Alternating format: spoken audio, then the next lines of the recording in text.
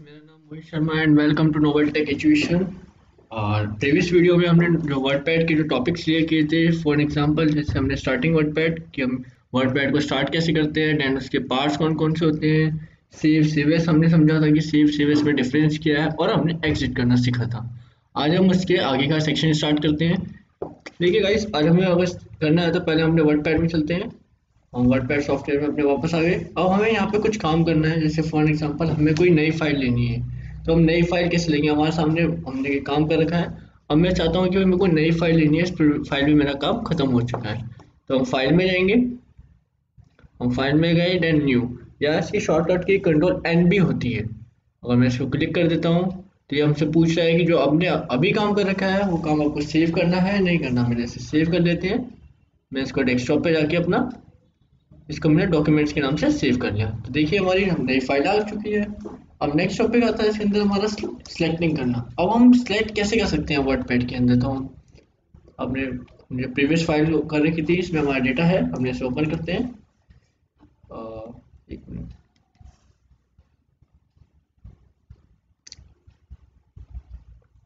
हाँ देखिए ये हमारी फ़ाइल हम इसको ओपन कर लेते हैं। So, इसे ओपन करते हैं हमने वर्ड सॉफ्टवेयर के अंदर। कि हमें डेटा चाहिए? डेटा हमारे पास नहीं है। फ़िलहाल हमने इसलिए इस वजह से हमने हमारा सॉफ्टवेयर नीचे है वर्ड हमने इसे ओपन कर लेते हैं वर्ड के अंदर। देन ओके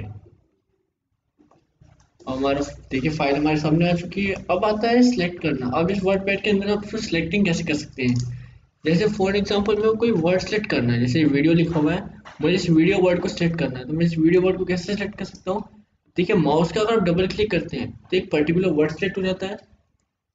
अगर मेरे को पूरा पैराग्राफ सिलेक्ट करना है तो मैं ट्रिपल क्लिक करता हूँ माउस का लेफ़्ट क्लिक से तो हमारा पूरा पूरा पैराग्राफ हमारा सिलेक्ट हो चुका है।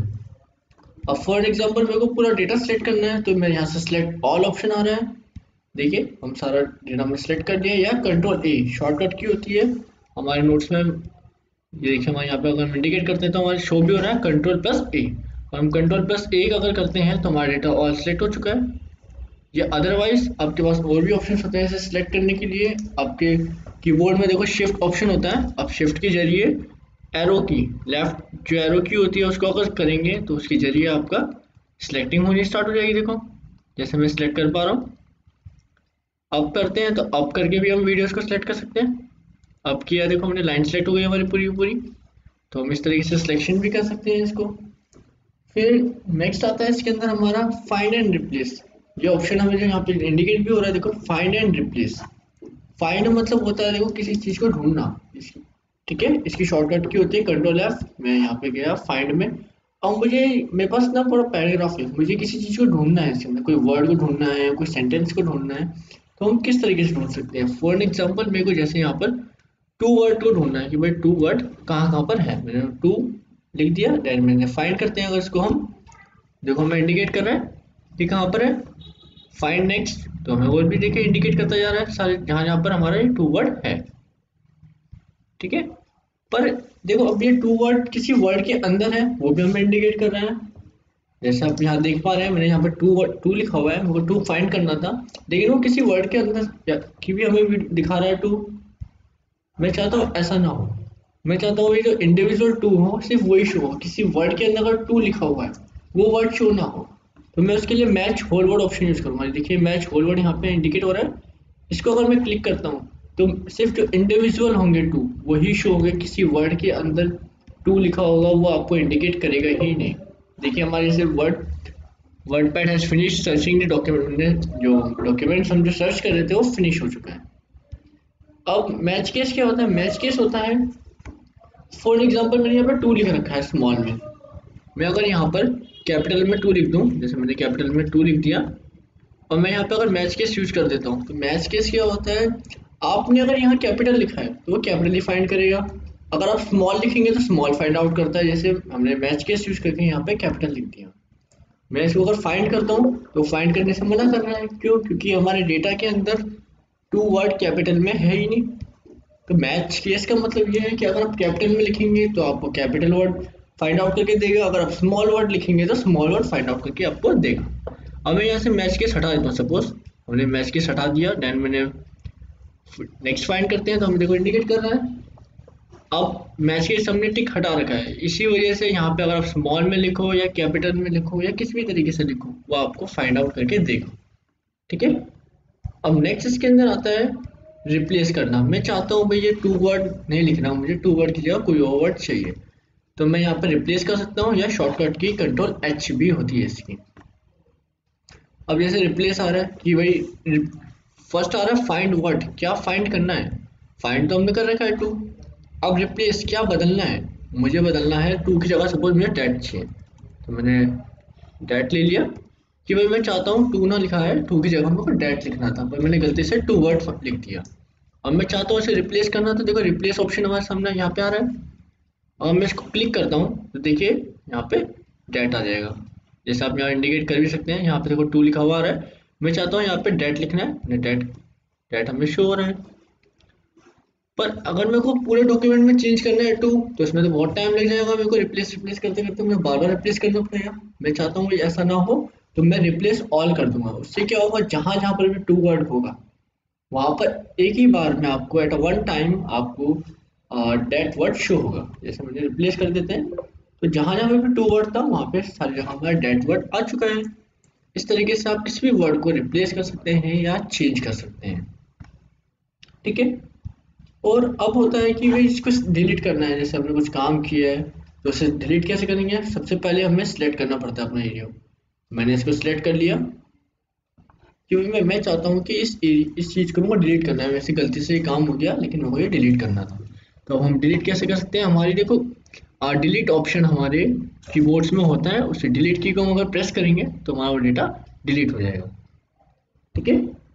फिर आता है देखो अंडू और रिडू क्या होता है? एक बहुत ही बढ़िया कमांड है अंडू और रिडू अंडू और रिडू होता है। अंडू देखो, हमें पीछे लेके जाता है। प्रीवियस वर्क अगर हमें देखना है तो हम अंडू कर सकते हैं। इवन अगर रिडू मतलब हमें वापस आगे आना है तो हम रिडू कर सकते हैं। जैसे आप क्विक एक्सेस टूल बार में देख सकते हैं, जैसे हमने लास्ट टॉपिक में आपको बताया था, ये क्विक एक्सेस टूल बार होता है। इसके अंदर हम अपनी कमांड्स को ऐड करते हैं, जिस कमांड की हमें रिक्वायरमेंट होती है। देखिए, यहाँ पे जैसे शो हो रहा है कंट्रोल जेड शो हो रहा है इंडिकेट कर रहा है, पर लेकिन कंट्रोल वाई इंडिकेट नहीं हो रहा है, क्योंकि हम पीछे गए ही नहीं है अभी। अभी मेरे को जैसे पीछे जाना है तो यहाँ पे इंडिकेट भी हो रहा है कि भाई कंट्रोल जेड शॉर्टकट की है अंडू की और कंट्रोल वाई रिडो की है। अब मैं चाहता हूँ वापस आने के लिए तो मैं यहाँ तो यहाँ से क्लिक कर लेता हूँ। देखिए, वापस आ गए ना, जो हमने काम किए थे। अब मैं चाहता हूँ मेरे को वापस नहीं आना, मुझे वापस आगे आना है तो कंट्रोल वाई कर सकते हैं रिडू या फिर यहाँ पे क्लिक कर सकते हैं। मैंने रिडू कर लेते हैं तो हम वापस आगे आ गए हैं। तो इस तरीके से अगर आपको पीछे आना है, आप पीछे जा सकते हैं, वापस आना है, वापस आ सकते हैं। अब पता है, ये कट कॉपी पेस्ट क्या होता है? जो मेनली यूज़ किया जाता है हमारे डॉक्यूमेंट्स में। कि आपको एक लोकेशन से दूसरी लोकेशन पे किसी वर्ड को या किसी भी चीज़ को लेके जाना है तो हम कॉपी करके ले जा सकते हैं। जैसे कि हम, मैं आपको दिखाता हूँ कैसे होता है। मैंने ये वर्ड सेलेक्ट कर लिया। डबल क्लिक करके माउस के ज़रिए हमने सेलेक्ट कर लिया। और मैं राइट क्लिक करता हूँ। तो देखो राइट क्लिक भी कट कॉपी का ऑप्शन आ रहे हैं। या फिर कट कॉपी का ऑप्शन देखो, यहाँ पे भी इंडिकेट हो रहा है। और शॉर्टकट की भी आ रही है, देखो। कंट्रोल सी होती है कॉपी की कंट्रोल एक्स होती है हमारी कट की। ठीक है? मैं चाहता हूँ भाई इसे कट करना है। मेरे को इसकी रिक्वायरमेंट नहीं है तो मैं राइट राइट क्लिक करके इसको कट कर देता हूँ। तो देखो वर्ड वहाँ से हट गया। अब मुझे उसकी ज़रूरत जैसे यहाँ पे पड़ी नीचे तो मैं राइट क्लिक करके पेस्ट कर सकता हूँ। या फिर हमारे यहाँ पर एक पेस्ट ऑप्शन आ रहा है। सिंपली अब पेस्ट कर सकते हैं या शॉर्टकट किए कंट्रोल प्लस वी मैंने इसे कंट्रोल प्लस वी कर लिया। देखिए हमारा डेटा वापस आ गया। तो इस तरीके से आपको कोई कट कॉपी करना है, कर कट करना है कट कर सकते हैं। अब आता है कॉपी कॉपी क्या होता है? जैसे मेरे को ये वर्ड है प्रोवाइड ये वर्ड मुझे कॉपी करना है। तो मैं कॉपी के लिए भी राइट क्लिक करके हम कॉपी कर सकते हैं। देखो कॉपी का ऑप्शन यहाँ पे आ रहा है। या यहाँ पर भी मैं इंडिकेट हो रहा है आपको अभी बताया। मैंने इसको यहीं से कॉपी कर लिया। कॉपी हो लिया, हो गया, और मैंने इसको आगे स्पेस करके मैंने कंट्रोल वी करके पेस्ट कर लिया। तो इससे क्या हुआ, देखिए, यहाँ पर भी वीडियो प्रोवाइड जो वर्ड है, वो इंडिकेट हो रहा है, और हमें यहाँ पर भी वो वर्ड आ गए कॉपी क्या करता है? कॉपी करता है, उसकी एक और कॉपी क्रिएट कर देता है। कट में क्या होता है? वो वर्ड वहाँ से हट जाता है। जैसे यहाँ पे ये यह वर्ड था, जो वीडियो लिखा हुआ था अपने वो वहाँ से कट होके नीचे आ गया। ठीक है? तो इस तरीके से हम कट कॉपी पेस्ट कर सकते हैं। किसी भी डॉक्यूमेंट को इजिली अपने एक लोकेशन से दूसरी लोकेशन पर ले जा सकते हैं। ठीक है गाइज़ आई होप गाइज़ आपको आज की वीडियो अच्छी लगी हो। And don't forget to subscribe